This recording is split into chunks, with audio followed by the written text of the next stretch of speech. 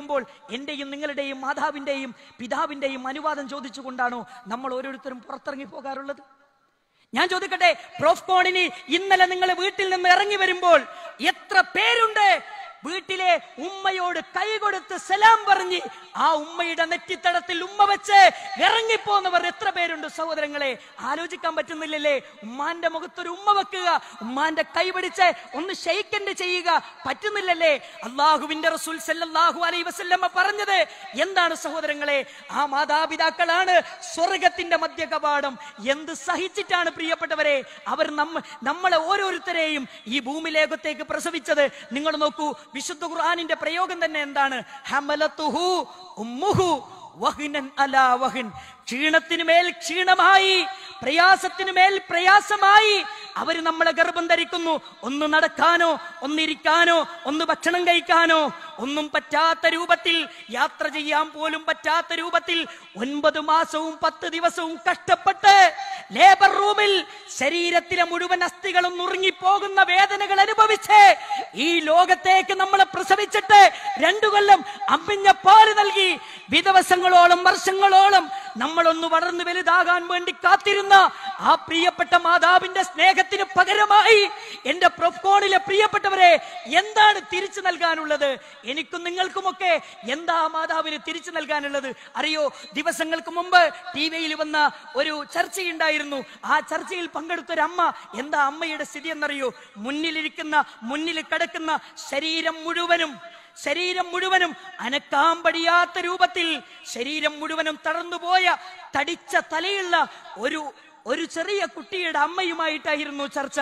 ആ കുട്ടി അവിടെ കിടക്കുന്നുണ്ട്. ആ അമ്മ പറയുന്ന വേദനയാർന്ന ചില കഥകളുണ്ട് സഹോദരങ്ങളെ. എന്താണെന്നറിയോ? ഒരു മാതാവിന്റെ വേദനകളും ഒരു മാതാവിന്റെ സ്നേഹവും ഒരു മാതാവിന്റെ കാരുണ്യത്തിന്റെ വിശാലതയും തിരിച്ചറിയണമെങ്കിൽ ഈ കഥ നിങ്ങളൊന്ന് കേൾക്കണം. ആ മാതാവ് പറഞ്ഞൊരു വാക്കെന്തറിയോ? എന്റെ മകൻ ഞാൻ അടുക്കളയിലേക്ക് ചെന്ന് ജോലി ചെയ്യുമ്പോൾ എന്റെ മകൻ എന്നെ വിളിക്കും. കുറെ നേരം വിളിക്കുമ്പോ എനിക്ക് അവിടേക്ക് ശബ്ദം കേൾക്കുകയില്ല. അവസാനം ഞാൻ വിളി കേട്ട് എന്റെ മകന്റെ അടുക്കലേക്ക് വന്നാൽ എന്റെ മകൻ എന്നോട് പറയും അമ്മേ എനിക്കൊരിത്തിരി വെള്ളം തരണം. എനിക്കൊരിത്തിരി വെള്ളം തരണമെന്ന് പറയും. അമ്മ അകത്തേക്ക് പോയി ഒരു ഗ്ലാസ് വെള്ളവും എടുത്ത് മകന്റെ അടുക്കലേക്ക് വന്നാൽ അവൻ കാർക്കിച്ച് അമ്മയുടെ മുഖത്ത് തുപ്പും. അമ്മക്കറിയാം ആ അമ്മ കരഞ്ഞുകൊണ്ട് പറയാ എന്റെ മകൻ എന്നോട് ഗ്ലാസ്സിൽ ഒരു വെള്ളം കൊണ്ടുവരാൻ പറഞ്ഞത് എന്റെ മുഖത്തേക്ക് കാർക്കിച്ചു തുപ്പാനാണെന്ന് എനിക്കറിയാം. എന്നിട്ടും ഞാൻ എന്റെ മകനെ സ്നേഹിക്കുന്നു ഞാൻ എന്റെ മകനെ ആദരിക്കുന്നു ഞാൻ എന്റെ മകനെ ബഹുമാനിക്കുന്നു. ഞാൻ ചോദിക്കട്ടെ പ്രിയപ്പെട്ടവരെ നമ്മുടെ ആവശ്യങ്ങൾ സാധൂകരിച്ച് തരാത്തതിന്റെ പേരിൽ ചീത്ത പറഞ്ഞവർ എത്ര പേരുണ്ട്? സ്വന്തം കൂട്ടുകാരന് വേണ്ടി മാതാവിനോട് കളവ് പറഞ്ഞവർ എത്ര പേരുണ്ട്? അതുകൊണ്ട് സഹോദരങ്ങളെ നമ്മുടെ പ്രിയപ്പെട്ട മാതാവിനെ ഇനിയെങ്കിലും ഒന്ന് തിരിച്ചറിയേണ്ടതുണ്ട് സഹോദരങ്ങളെ. മാതാപിതാക്കളുടെ മാതാപിതാക്കളോടുള്ള കടമകളും മഹത്വങ്ങളും അവർക്ക് ചെയ്യേണ്ട കടമകളും വിശദീകരിച്ചാലും അവസാനിക്കാത്തതാണ്. അള്ളാഹുവിന്റെ ഖുർആാന് പറഞ്ഞില്ലേ കാരുണ്യത്തിന്റെ ചിറകുകൾ അവർക്ക് നിങ്ങൾ നിവർത്തിയിട്ട് കൊടുക്കണം. സഹോദരങ്ങളെ അവരുടെ ജീവിതത്തിന്റെ സായം സന്ധ്യയിലൂടെ കടന്നു പോകുമ്പോൾ ജീവിതത്തിന്റെ പ്രയാസങ്ങളിലൂടെ അവർ കടന്നു പോകുമ്പോൾ അവർക്കൊന്ന് സാന്ത്വനമായി അവർക്കൊന്ന് സമാധാനമായി ഒന്ന് അടുത്തു ചെല്ലാൻ എനിക്കും നിങ്ങൾക്കും സമയമുണ്ടാകണം. പ്രൊഫഷണൽ രംഗത്ത് വ്യത്യസ്തമായ ജോലികളിൽ ഏർപ്പെട്ടു പോകുമ്പോൾ മാതാവിനെ മറക്കാൻ പാടില്ല.